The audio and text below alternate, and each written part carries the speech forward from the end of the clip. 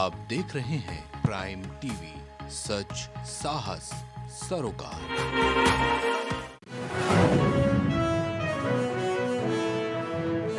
पार्षद चाँद सिद्दीकी की सराहनीय पहल वार्ड के लिए खुद खरीदी फॉगिंग मशीन।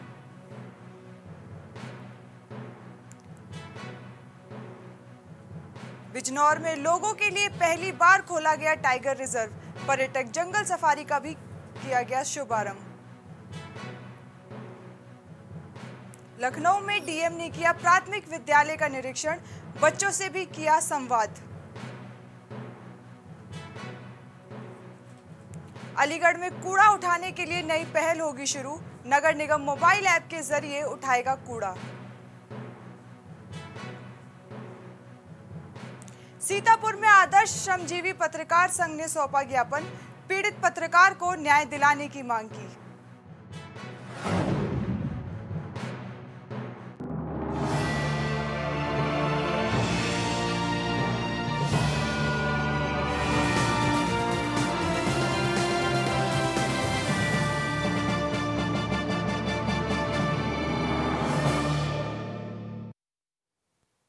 नमस्कार, मैं उषा भार्गव और आप देख रहे हैं प्राइम उत्तर प्रदेश। तो शुरुआत करते हैं उत्तर प्रदेश की बड़ी खबरों के साथ।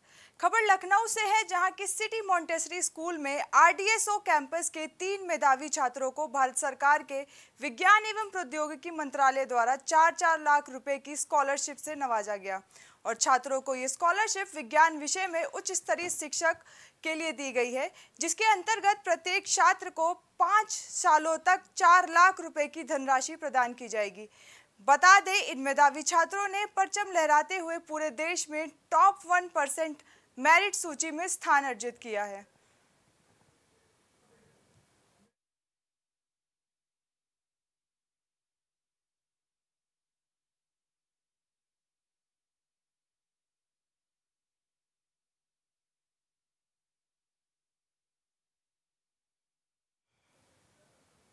खबर लखनऊ के जानकीपुरम से है, जहाँ पार्षद शीबा चाँद सिद्दीकी ने अपने वार्ड के लिए सराहनीय पहल की। बता दें, बढ़ते डेंगू के मरीजों को देख बचाव के लिए पार्षद ने बिना नगर निगम का इंतज़ार किए खुद ही फॉगिंग मशीन खरीदकर वार्ड में एंटी लार्वा का छिड़काव कराया, ताकि क्षेत्रवासियों को डेंगू से राहत मिल सके।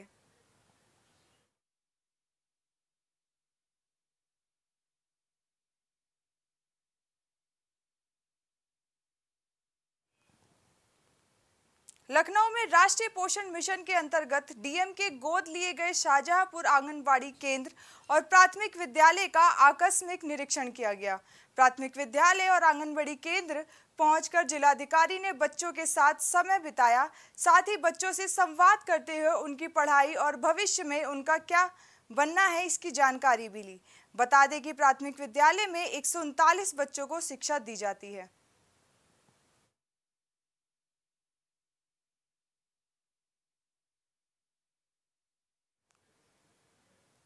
खबर गाजीपुर से है, जहाँ बेसिक शिक्षा विभाग ने खेलो इंडिया के तहत इन दिनों बाल क्रीड़ा प्रतियोगिता का आयोजन किया। इस क्रम में पीजी कॉलेज के ग्राउंड पर सभी ब्लॉकों से आए हुए छात्रों ने अपने हुनर का प्रदर्शन किया।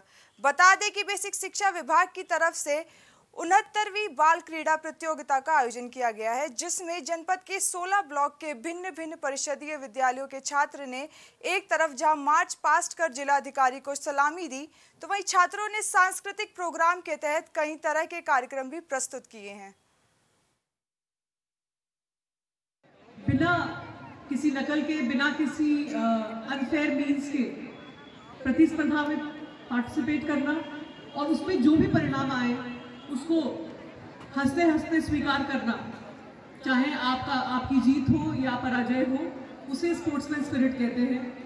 और ये जो चरित्र में अपने ढाल लेता है, वो आगे जीवन के संघर्ष में भी हमेशा विजयी होता है। तो मैं अपने बच्चों को यही कहना चाहती हूँ कि जिस स्पिरिट से आपने, जिस मेहनत से इस कार्यक्रम के शुभारंभ में अपनी कला और प्रतिभा को दिखाया है, वो प्रशंसनीय है। और मैं चाहती हूँ कि हमारे जनपद के बच्चे न सिर्फ़ मंडल में, बल्कि पूरे प्रदेश में सबसे अधिक अंक पाए, सबसे आगे रहे।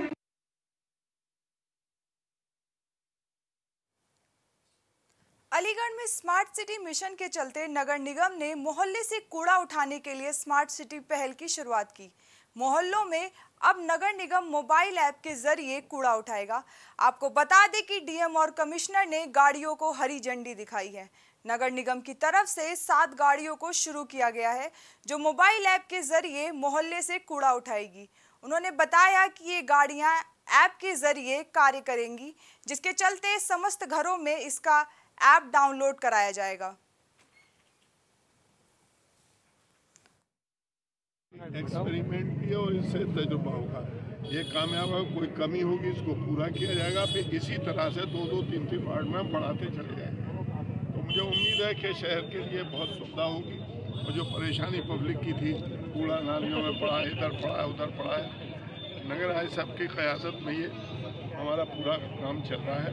तो मुझे उम्मीद है कि शहर आपको कुछ दिन में बहुत अच्छा दिखे शहर में इंटीग्रेटेड वेस्ट मैनेजमेंट प्रोजेक्ट इसको लॉन्च किया गया है। ये प्रोजेक्ट अवार्ड हुआ था कुछ महीने पहले और उसको आज दो वार्ड्स में इसको विधिवत लॉन्च किया जा रहा है। जिसमें हाउस टू हाउस कूड़ा कलेक्शन और ट्रांसफ़र स्टेशन के माध्यम से कूड़ा का एकत्रीकरण और फिर उसके बाद फाइन डिस्पोजल हरदोई में शाहबाद, कोतावली इलाके में करीब डेढ़ माह पूर्व दो लाख लोगों ने एक युवती को भगा दिया। पीड़ित पिता ने सीओ को तहरीर देते हुए कार्रवाई की मांग की है, जिसमें विवेचक के साथ आरोपी के साठ गांठ करने पर पीड़ित आत्मदाह को मजबूर हो गया है। आरोप है कि पीड़ित को पुत्री सौंपने में एक लाख रुपए से ज़्यादा विवेचक ने खर्च कराए। इतना ही नहीं, पीड़ित को दरोगा ने अपने कमरे में बंद रखा। परेशान पीड़ित ने सीओ को प्रार्थना पत्र दिया है, जिस पर जाँच कराकर दरोगा पर कार्रवाई की मांग की है।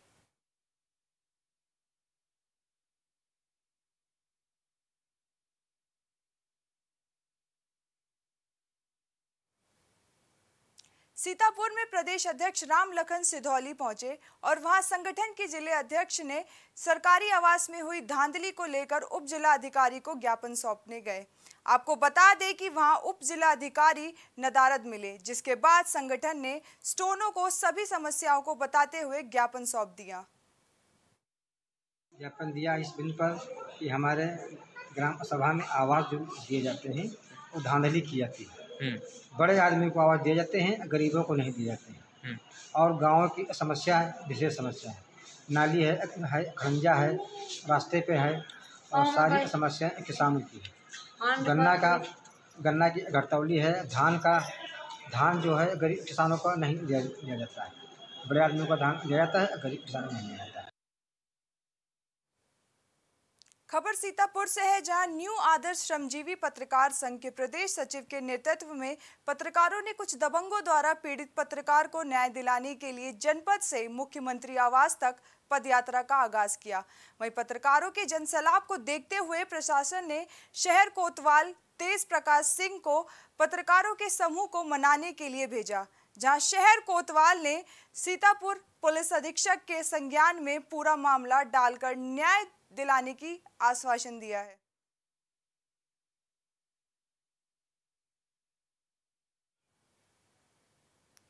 खबर गाजीपुर से है, जहाँ मोहम्मदाबाद थाने में हुए सनसनीखेज दोहरे हत्याकांड का पुलिस ने खुलासा किया है, जिसमें कातिल बेटे को गिरफ़्तार कर पुलिस ने मीडिया के सामने पेश किया है।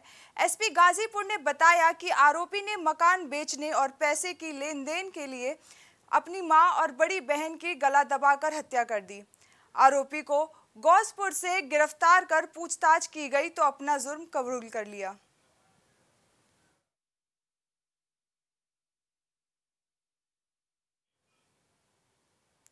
बुलंदशहर में डिबाई थाने में तैनात पीआरडी जवान ने होम गार्ड और पीआरडी में भर्ती कराने के नाम पर लाखों की ठगी का मामला सामने आया है। आपको बता दें कि आठ शिक्षित बेरोजगारों से तीस तीस हज़ार की वसूली करते वीडियो सोशल मीडिया पर तेज़ी से वायरल हो रहा है। एसएसपी ने जाँच के आदेश दे दिए हैं। हमसे दो साल पहले करीबन रुपए लिए थे कपिल पंडित जी शर्मा जी ने। वो जिरोली के रहने वाले हैं। उन्होंने बोला था हमसे जब पैसे लिए थे कि हम तुम्हारा डेढ़ महीने में ही काम करा देंगे। लेकिन आज बीस महीने हो गए। क्या काम करा रहे थे? पीआरडी में काम करा देंगे। लेकिन आज तक उन्होंने ना तो हमारी नौकरी लगवाई और ना हाँ पैसे वापस दिए। हम जब उनके पास पैसे मांगने जाते हैं तो आजकल आजकल कहते हैं और हम फ़ोन करते हैं तो फ़ोन पे हमें धमकी देते हैं। मेरे साथ ये हुआ है कि हम लोगों से, आठ लोगों से पीआरडी में लगवाने के लिए पीआरडी में लगवाने के लिए तीस तीस हज़ार रुपये लिए थे। जी, पैसे ले लिए और डेढ़ महीने में, डेढ़ महीने में बोला था कि, हम तुम्हारा हम तुम्हारा काम करा देंगे। लेकिन अब बीस महीने हो गए, अभी तक हमारा कोई भी काम नहीं कराया, नहीं कोई पैसा वापस किया है। एक वीडियो संज्ञान में आया था जिसमें कि एक पीआरडी कर्मचारी कुछ लोगों से नौकरी लगवाने के नाम पे तीस तीस हज़ार रुपए ले रहा था। इस वीडियो का संज्ञान लेते हुए थाना डिबई में सुसंगत धाराओं में मुकदमा पंजीकृत कर लिया गया है और साथ ही साथ आरोपी को गिरफ़्तार कर लिया गया अन्य विधिक कार्रवाई इसमें सुनिश्चित की जा रही है। हरदोई अतरोई इलाके में जिसम फरोशी का खेल चल रहा था। इससे पहले भी वायरल वीडियो में इस घिनौने खेल का खुलासा किया गया है। इसके बाद अब एक और वीडियो वायरल हो रहा है। गाँव में छापेमारी करते हुए वैश्यावृत्ति के दल दल में एक लड़की को पुलिस ने रिहा कराया है। इसके बाद वैश्यावृत्ति कराने के आरोप में तीन लोगों पर पुलिस ने मुकदमा दर्ज कर उन्हें गिरफ़्तार कर लिया है, जबकि सात आरोपी अभी भी फरार हैं। थाना अतरौली का मामला है। थाना अतरौली पुलिस व सी ओ हरियाणा को यह सूचना मिली थी कि ग्राम डटपुरवा में एक महिला श्रीमती सोम वाइफ ऑफ़ सीटू। यह तथा अन्य लोग मिलकर के गाँव में बेसर्वित करवा रहे हैं। इस सूचना पर पुलिस ने वहाँ छापा मारा। छापे में वहाँ पर तीन लोग, सोम, सीटू और प्रदीप गिरफ़्तार किए गए हैं। तथा जो बच्ची है, उसको बरामद किया गया है। पुलिस द्वारा उचित धाराओं में अभियोग पंजीकृत किया गया है, जिसमें अनैतिक व्यापार अधिनियम की धाराएँ हैं। तीन अभियुक्तों को गिरफ़्तार करके जेल भेज रही है, तथा अन्य जो छह लोग हैं, उनको शीघ्र गिरफ़्तार करके जेल भेजा जाएगा। बिजनौर में आमनगढ़ टाइगर रिज़र्व पहली बार लोगों के लिए खोल दिया गया है। इस मौके पर पर्यटक जंगल सफारी का भी शुभारंभ किया गया। तो वही आमनगढ़ टाइगर रिज़र्व के हरिपुर वन परिसर में जंगल सफारी का शुभारंभ भाजपा विधायक द्वारा किया गया। उन्होंने इस अवसर पर पर्यटन पंजीकरण कक्ष कैंटीन टिकट, घर का फीता काटकर शुभारंभ किया और जंगल सफारी जिप्सी को हरी झंडी दिखाकर रवाना किया। यहाँ पर संख्या शेरों की, हिरणों की, हाथियों की और अन्य प्रकार के जानवरों की। वो जिम कॉर्बेट से भी कहीं ज़्यादा है। क्यों? क्योंकि यहाँ पर वाटर रिसोर्सेज ज़्यादा है और जहाँ वाटर रहेगा, वहाँ प्राइमरी एनिमल रहेगा, फिर अपने आप ही कानीवर्स वहीं पर पहुँचेंगे जहाँ पर हिरन वगैरह रहेगा। तो इसलिए यहाँ पर स्पॉटिंग बहुत जल्दी हो जाती है और ज़्यादा से ज़्यादा बच्चों को देखने में स्वाभाविक है, जब टाइगर दिखेगा तो आप बच्चा भी संतुष्ट होकर के भगवान की दी हुई सुख संपदा को एंजॉय करके जा सकता है।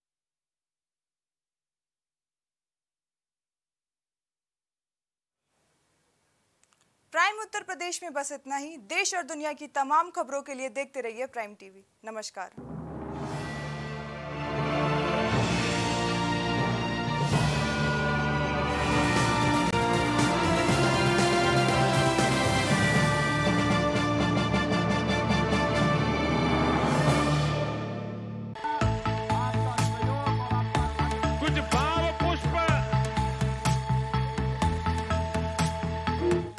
देख रहे हैं प्राइम टीवी सच साहस सरोकार। राजनीति से जुड़ी हर एक खबर पर होगी हमारी नज़र। न कोई शोर शराबा न कोई एजेंडा। जिम्मेदारों से करते हैं तीखे सवाल। जनता के मुद्दों का रखते हैं ख्याल हम। पक्ष और विपक्ष के बीच निष्पक्ष खड़े हैं हम। निष्पक्ष और निडरता के साथ। बात करते हैं